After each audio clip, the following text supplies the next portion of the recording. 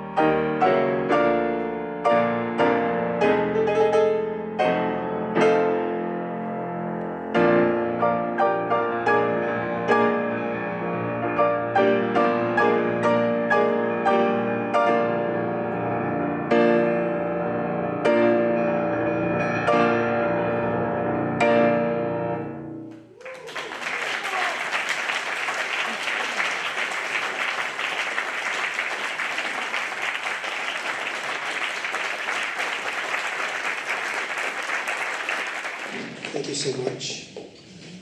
Uh, the, this is the last piece that we played now, but I think we have one more to play for you, and that would be actually an arrangement that I made on Philip Sousa's Stars and Stripes Forever. Uh, this might be something unusual that you've never heard before. But let's see.